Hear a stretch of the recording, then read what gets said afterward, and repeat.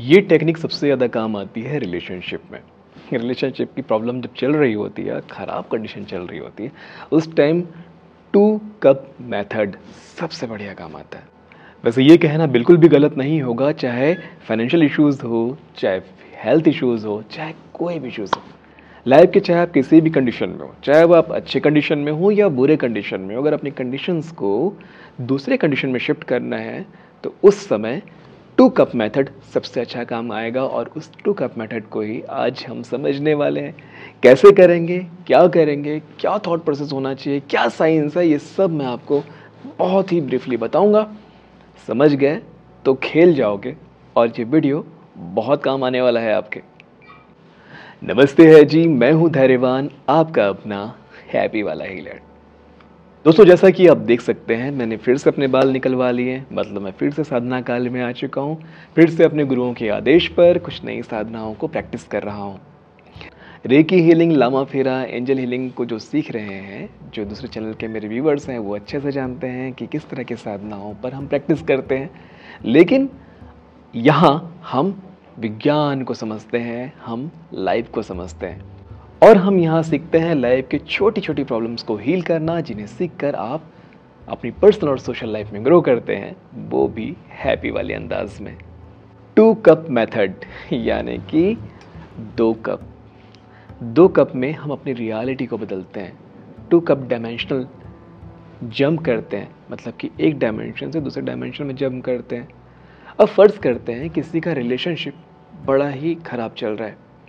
किसी के जीवन में प्रेम है ही नहीं, या किसी ने किसी को ब्लॉक कर रखा है, इसने उसको ब्लॉक कर रखा है, या झगड़े बहुत चल रहे हैं पीस ख़त्म हो चुका है रिलेशनशिप टूटने के कगार पर है। तो ऐसे कंडीशन में ये सिर्फ़ रिलेशनशिप के लिए नहीं है, ये सारे फाइनेंशियल इश्यूज़ में भी है। जैसे कि अगर बहुत क्राइसिस चल रहे हैं और आप अच्छे कंडीशन में में जाना चाहते हो तो उसमें भी यही काम आएगा। लेकिन एग्ज़ाम्पल के लिए हम रिलेशनशिप को पकड़ते हैं, क्योंकि सबसे ज़्यादा रिज़ल्ट जो पाया है लोगों ने, वो रिलेशनशिप में ही है। तो हम रिलेशनशिप की ही बात करेंगे। तो आइए समझते हैं ये दो कप काम कैसे करते हैं। फ़र्ज़ करते हैं, एक कप है। आपकी जो भी रियलिटी है प्रेजेंट रियलिटी आप सारे प्रेजेंट रियलिटी को आप या तो बोलते हो या तो सोचते हो। सोचने से बहुत इधर उधर मामला फैल जाता है, रहता बहुत ज़्यादा फैल जाता है। तो सबसे अच्छा तरीका है बोल के कि आपके रिलेशनशिप में अभी क्या चल रहा है। याद है ना वाटर हीलिंग टेक्निक में हमने क्या सीखा था?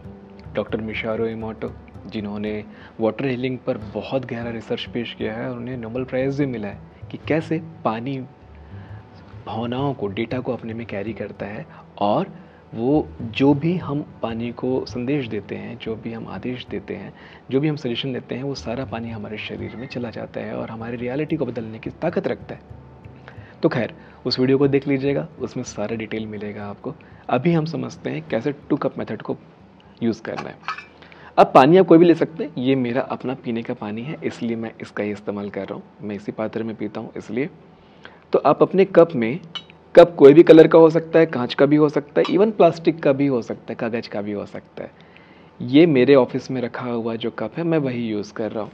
तो जो आपके लिए सबसे सहज होगा, आप वही यूज़ करना। तो आपने पानी भर लिया। और अब आपने इस कप को वो सारी बातें बताई, इस पानी को सारी बातें बताई, जो करंट रियलिटी है कि मेरे मेरे रिलेशनशिप में बहुत परेशानी चल रही है, बहुत झगड़ा होता है हाँ प्रेम बहुत कम हो गया है। वो मुझसे बहुत लड़ती है, वो मेरी बातों को नहीं समझती है, वो मुझसे मेरे साथ बहुत कलेश करती है, या ऑपोजिट भी मैं लड़का हूँ, इसलिए मैं ऐसा बोल रहा हूँ। वो वो मुझ पर बहुत शक करता है, वो मुझे बहुत बंदिशें रखता है, वो मेरी बातों को समझने की कोशिश नहीं करता, वो मेरे खर्चे के लिए मुझे पैसे नहीं देता, या हम दोनों में बहुत ज़्यादा बहस हो जाता है हम दोनों एक दूसरे पे बहुत ज़्यादा गुस्सा करते हैं एक दूसरे से प्यार भी करते हैं लेकिन एक दूसरे से चिढ़ते भी बहुत ज़्यादा हैं। हम दोनों एक, एक दूसरे की बातों को सुनकर बहुत ज़्यादा सुलग जाते हैं। ऐसे बहुत सारी बातें हो सकती है जो प्रेजेंट रियलिटी है पूरी ईमानदारी से इस पानी को कह देना। और अब आता है असली काम। अब आप दूसरा कप लेते हो और ये सारा पानी इसमें शिफ्ट कर देते हो। अब जो भी था उस कप में, जो भी था उस कप में, वो उस डायमेंशन से इस डायमेंशन में आ गया। ठीक है? अब आप ये जानते हो, ये बिल्कुल प्योर खाली कप है। अब ये पानी इन सारी भावनाओं के साथ यहाँ आ गया है और सब कुछ यहाँ अस्त व्यस्त हो गया है। अब इन भावनाओं को आप अपने जादू से बदल सकते हो। कैसे? हमारा रिश्ता बहुत पीसफुल है। हम बहुत प्यार से रहते हैं। एक दूसरे को बहुत अच्छे से समझते हैं। एक दूसरे की केयर करते हैं। फीमेल हैं तो फीमेल बोल सकते हैं, जो भी आपकी, अब वो मुझ पर भरोसा करने लगा है, अब वो मुझे खर्चे के लिए पैसे भी देने लगा है। हस्बैंड वाइफ में होता है ना कभी कभी हस्बैंड वाइफ को बिल्कुल पैसे ही नहीं देते। तो अब वो मुझ पर ध्यान देता है, अब वो मेरी केयर करता है, अब वो मुझसे बहुत प्यार करता है। या मेल्स के लिए अब वो मुझसे प्यार करती है, अब वो मुझे बातें बताती है, अब मुझसे बातें छुपाती नहीं है, मुझ मुझ पर भरोसा करती है। हम दोनों एक दूसरे के भरोसे को लेकर के काम कर रहे हैं। हम एक दूसरे पे प्यार एक दूसरे पे प्यार की पौछार कर रहे हैं, एक दूसरे का केयर करते हैं। तो ये सारी बातें आपने इसी पानी को, कोई और पानी नहीं, उस पानी से, इस पानी में आपने वही बातें की, क्योंकि सारे मॉलिक्यूल्स अभी अस्त व्यस्त हैं। तो जो भी बातें आपने पहले वाले पानी को कही थी, ये वही पानी, लेकिन अब सब कुछ बिगड़ा हुआ है। तो सिर्फ़ शब्दों को आप बदल दे रहे हो। जो नहीं था, उसको है, जो नहीं है, उसको है में कन्वर्ट कर दे रहे हो। यानी कि कुछ शब्दों को आप बाहर निकाल दे रहे हो, कुछ शब्दों को ऐड कर दे रहे हो। सारे शब्द, सारे वाक्य वही हैं, बस कुछ शब्दों का हेर फेर करके आप इस पानी के डेटा को पूरी तरह से कन्फ्यूज़ कर दिए हो। तो बनने के टाइम अब जब तक ये पानी स्थिर होगा, तब तक जो चीज़ें आप बोल चुके होगे वो सब चीज़ इसमें इकट्ठा हो जाएगा, रुक जाएगा, ठहर जाएगा। अब इस डायमेंशन में ये आपकी रियलिटी बन चुकी है। और इस खूबसूरत पानी को, इस शांति से भरे, इस प्रेम से भरे हुए पानी को आपको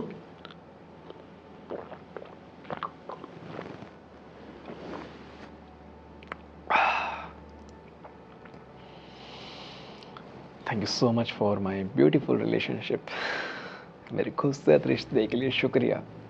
Thank you so much for my healthy calm loving caring partner तो बस, पानी पीने के बाद ऐसे कुछ धन्यवाद बोल देना। मुझे थोड़ी सी इंग्लिश आती थी तो मैंने बोल दी।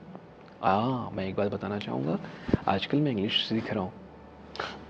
तो ये मेथड भी मेरे काम आएगा। क्योंकि आप लोग इतना प्यार दे रहे हैं। और बहुत लोग ये मैसेज भी करते हैं कमेंट में लिख के भेजते हैं कि बहुत लोग को हिंदी समझ में नहीं आती है। और मेरी हिंदी तो बहुत अच्छी है, ये तो आपको पता ही है है ना? क्योंकि मैं संस्कृत की पढ़ाई किया हूँ तो मेरी हिंदी बहुत अच्छी है। तो अब मैं इंग्लिश की भी पढ़ाई कर रहा हूँ। तो क्यों ना एक बार मेरे इंग्लिश के लिए बात कर लेते हैं। मेरी इंग्लिश बहुत अच्छी नहीं है। मैं इंग्लिश सीखना चाहता हूँ। मैं इंग्लिश में बहुत ज़्यादा अच्छे से बात नहीं कर पाता। मैं इंग्लिश मैं इंग्लिश पे काम करना चाहता हूँ। मैं इंग्लिश को और अच्छा करना चाहता हूँ ताकि मैं सब लोगों के साथ अच्छे से बात कर सकूँ। इंग्लिश वालों से अच्छे से बात कर सकूँ, अपनी वीडियोस को इंग्लिश में अच्छे से बना सकूँ। तो क्योंकि मैं अपने वीडियोस को इंग्लिश में नहीं बना पाया हूँ आज तक, और यही मेरी रियलिटी है, और मेरे व्यूवर्स चाहते हैं कि मैं उनके लिए इंग्लिश में भी वीडियोस बनाया करूँ। तो मेरी इंग्लिश अच्छी नहीं है। ये मेरी करंट रियलिटी है। ठीक है? और अब हम क्या करेंगे? My English is so good सही है ना? अगर गलत होगा तो कमेंट में लिख के बता दीजिएगा ठीक है? My English is so good day to day better than better Mansi सही बोल रहा हूँ ना? जी सर। हाँ day to day better than better मतलब मैंने कोशिश किया हूँ ना यार। तो मेरी इंग्लिश दिन ब दिन और अच्छी होती जा रही है। मैं बहुत अच्छे से इंग्लिश बोलने लगा हूँ। मेरी इंग्लिश में मेरा कॉन्फिडेंस बहुत बढ़ते जा रहा है और इस लैंग्वेज को, जैसे मैं हिंदी भाषा को और संस्कृत भाषा को बहुत अच्छे से बोल पाता हूँ, वैसे ही इंग्लिश लैंग्वेज को भी अब बहुत अच्छे से पूरे आत्मसात करके मैं इसे बोल पा रहा हूँ।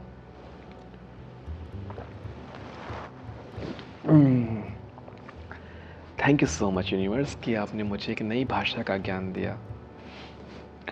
Thank you so much universe for giving me the wisdom of new language the knowledge of new language thank you so much तुम सिखा अच्छा रही हो मुझे। ये मानसी ही मुझे अभी इंग्लिश सिखा रही है ना? तो देखो, मेरा, जब से मानसी के साथ मैं बात करना सीख रहा हूँ, तब से मैं, मेरे बात करने का टोन भी थोड़ा सा बदला है। अब थोड़ा बहुत शांत होकर बात नहीं करता हूँ, योगियों की तरह बात नहीं करता हूँ, थोड़ा कूल होकर भी बात करना सीख रहा हूँ, क्योंकि मानसी मुझे सिखा रही है। वैसे मानसी, इधर आओ। आप लोगों को पता चलना चाहिए मेरी टीचर कौन है मुझे कौन सिखा रहा है? मानसी आ जाएगी इधर आ जाएगी कैमरे में। ये ये प्यारी सी छोटी सी गुड़िया ये मेरी टीचर है। और गुरु तो कोई भी कभी भी किसी का हो सकता है तो ये मुझे अभी इंग्लिश सिखा रही हैं। और इंग्लिश में कैसे आप एक्सेंट लेते हैं कैसे आप बॉडी लैंग्वेज यूज़ करते हैं कैसे कूल होकर बात करते हैं आजकल वो सब सिखा रही है मुझे।